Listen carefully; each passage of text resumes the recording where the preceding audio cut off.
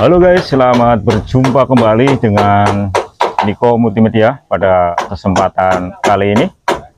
Saya akan berbagi tutorial yaitu proses pemasangan sloof sabuk untuk bangunan rumah dua lantai. Dan kali ini untuk besi sloopnya sudah dipasang, kemudian sudah dipasang memutar seluruh dinding tembok. Bagaimanakah proses pemasangan, kemudian ukuran besi sloop sabuknya ukurannya berapa, kemudian prosesnya bagaimana. Untuk lebih jelas, ayo kita ikuti video selanjutnya.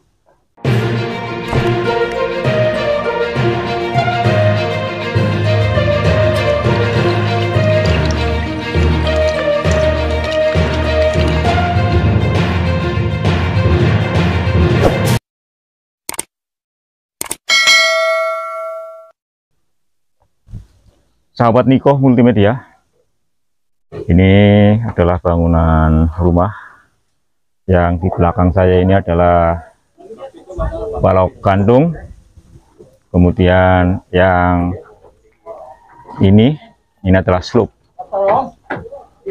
slope sabuk. Jadi setelah dinding tembok sudah dipasang di mana untuk tinggi kali ini yaitu tingginya tiga setengah meter.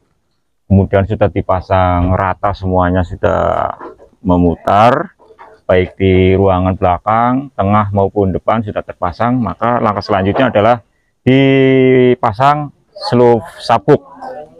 Slope sabuk seperti ini sahabat Niko multimedia. Dan proses pemasangannya adalah sebagai berikut sahabat Niko multimedia ini adalah slope sabuk untuk balokan di mana besi-besi slope sabuk ini dipasang di atas bata dan untuk ukuran kali ini untuk sub yang digunakan untuk besinya ukurannya adalah 10 mili. Kemudian untuk ringnya ini menggunakan ukuran 6 mili. Kemudian sahabat Niko multimedia untuk tinggi ini tinggi slope ini nanti menghas menghasilkan hasil setelah dicor tingginya adalah 20 jadi setelah dicor ini nanti hasil akhirnya 20 dan untuk tingginya ini 15 15 ya. Tapi nanti setelah dicor nanti hasilnya 20 kemudian untuk lebar ini lebar matang nanti 12 12 cm tapi untuk besi yang ini ini adalah lebarnya 10 cm kemudian untuk balok kantung balok kantung kali ini menggunakan balok kantung untuk pemasangannya dikasih zigzag seperti ini sahabat Niko multimedia. Jadi proses pemasangannya bukan hanya sabuk apa besi lurus saja tapi dikasih besi zigzag ini. Ada zigzagnya ada dratnya.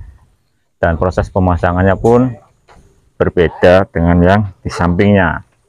Jadi kalau yang di sini ini ke sini ya lurus dari atas ke bawah kemudian di sebelah sampingnya nyilang. Ya sebelah sampingnya nyilang seperti ini. Ini adalah hasilnya nanti tidak lentur jadi kuat dan kokoh.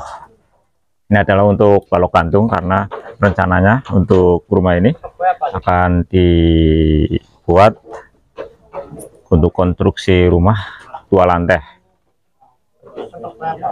ini juga balok kantung karena ini untuk ruangan yang di bawahnya adalah ruangan tengah dan tidak ada sekat dindingnya. Jadi ada dinding tidak ada dinding sahabat Niko multimedia. Jadi dibuat seperti ini. Dibuat pada balok kantungnya. Dan sekarang ini sedang dilakukan proses pemasangan papan ini bisa dilihat sahabat. Hmm, Niko Multimedia. Kemudian ini mohon maaf karena akan dipasang nanti ada backlisting papan kemudian material lain.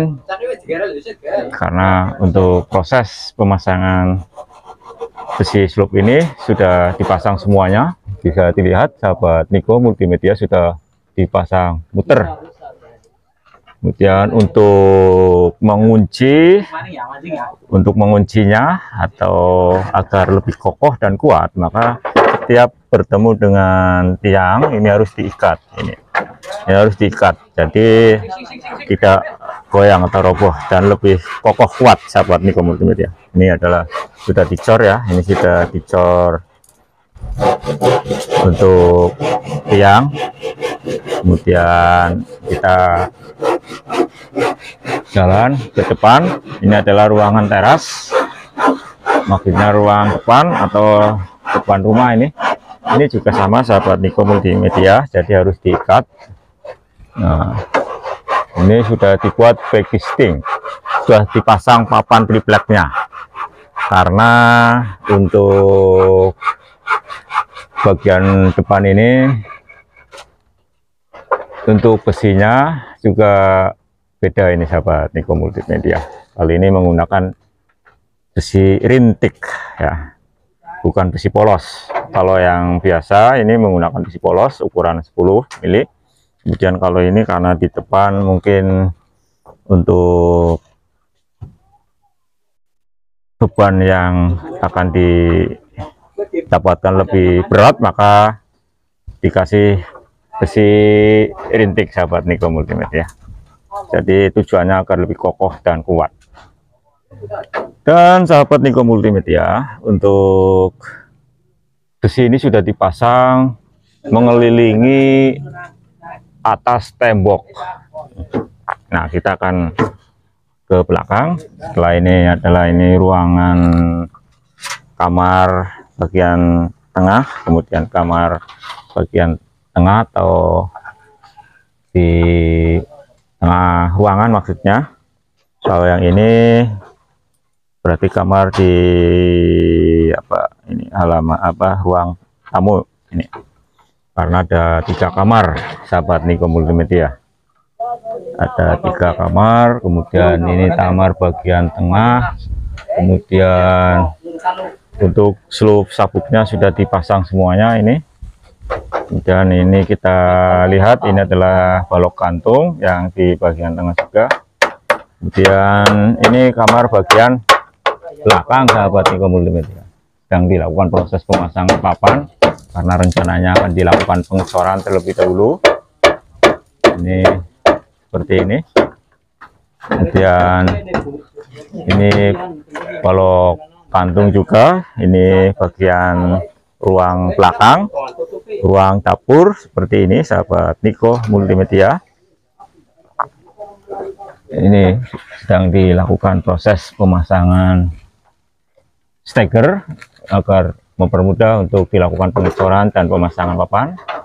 Kemudian ini adalah balok kantung untuk ruang dapur. Nah kita berjalan ke arah ruangan kamar mandi atau WC nih, ini kamar mandi atau WC juga dikasih balok kantung ini yang menempel pada dinding tembok. Kemudian ini untuk balok kantungnya hanya satu meter lebih ini. Karena ini nanti untuk pintunya. Ini bisa dilihat ke bawah ini pintu. Dan ini adalah untuk ruangan WC atau ruangan kamar mandi. Dan sekarang sedang dipasang papan. Papan kali ini menggunakan papan pinus. Kemudian untuk bagian samping-sampingnya untuk mempertahan agar papan ini tidak lepas maka diberi besi eh dibeli ini apa maksudnya? Kayu bambu. Bukan besi ya maksudnya. Dikasih kayu bambu kemudian diikat ini. Diikat dengan menggunakan bendrat. Dan tujuan kayu bambu yang menjalar ke atas ini menjulang ke atas adalah untuk mengikat papan agar tidak lepas. Jadi ketika dikasih coran ini papan tidak lepas. Prosesnya seperti ini sahabat. Niko multimedia. Ini, kanan kiri dikasih bambu kemudian diikat dengan mengaitkan besi yang apa papan kayu bambu yang satu dengan kayu bambu yang di samping kanan kiri kemudian diikat dengan menggunakan bendrat ini lebih kuat. Sehingga ketika coran dikasih ini kuat dan tidak lepas. Dan ini bagian belakang untuk ruangan kamar mandi kemudian ini ruangan dapur dan yang di sana itu yang kelihatan adalah ruangan tengah depan dan juga teras. Dan kali ini untuk besi seluk sabuknya sudah terpasang semuanya mengelilingi dinding tembok bagian atas. Mengapa diberi seluk sabuk ini karena untuk memperkokoh agar bangunan ini tetap kuat kokoh dan tentunya tidak roboh. Karena untuk rumah ini rencananya akan dibuat rumah dengan dua lantai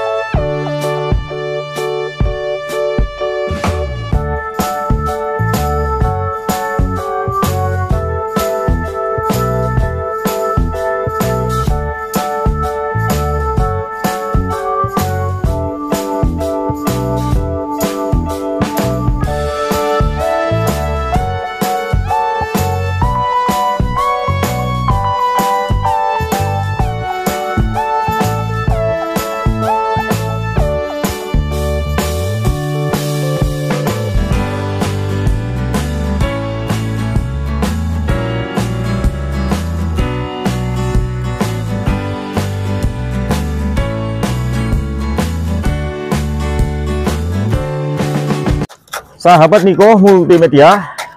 Dan sekarang ini sedang dicor. Yaitu dicor secara bertahap. Ini bagian samping kiri terlebih dahulu. Dan dipasang untuk pengecorannya tidak langsung full sahabat Niko multimedia. Karena rencana nya untuk rumah ini adalah dibuat lantai dua. Jadi kalau yang ini nanti untuk cantolan besi tak lantainya. Nah ini disisakan. Besi yang di atas itu kelihatan sahabat Niko Multimedia. Jadi tidak dipasang secara full atau penuh. Kenapa ini dilakukan begini? Karena mengingat papan coran yang terbatas akan digilir. Setelah ini sudah kering kemudian dilepas dan dilakukan pengecoran untuk bagian yang belum dicor. Ini masih banyak yang belum dicor. Kemudian ini yang bagian samping-samping sudah dicor eh, sudah dipasang papan coran terlebih dahulu. Ini nanti dicor mengelilingi bagian samping-samping dulu Nah, ini sedang dicor. Pengecorannya bertahap mengingat papan yang digunakan juga terbatas. Berbeda jika papan coran banyak, maka bisa dilakukan pengecoran secara langsung atau secara bersamaan. Baik pengecoran besi seluk sabuk, kemudian pengecoran ring apa pengecoran balok gantung dan juga pengecoran cat lantai dilakukan secara langsung. Tapi mengingat papan yang jumlahnya terbatas maka kali ini dilakukan seperti ini. Mungkin jawabannya seperti itu sahabat Niko Multimedia kenapa dilakukan seperti ini? Karena papan untuk pengecorannya sangat terbatas mengingat anggaran yang terbatas juga. Demikian video kali ini sahabat Niko Multimedia yaitu pemasangan besi seluf sabuk untuk bangunan rumah yang rencananya untuk rumah dua lantai. Mohon maaf atas segala kekurangan Semoga video kali ini bisa menjadi referensi bagi sahabat Niko Multimedia. Mohon maaf. Terima kasih. Salam Durai Kasih.